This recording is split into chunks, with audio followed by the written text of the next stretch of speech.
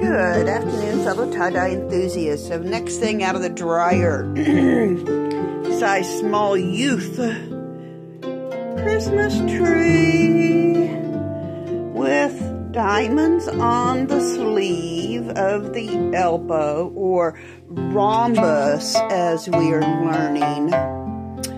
Christmas tree on both front and back has nice white accents.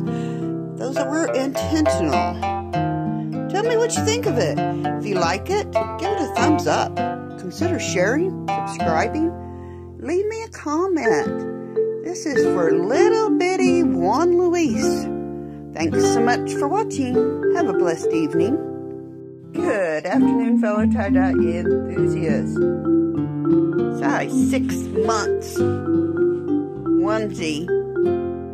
Vertically striped red and green for Christmas.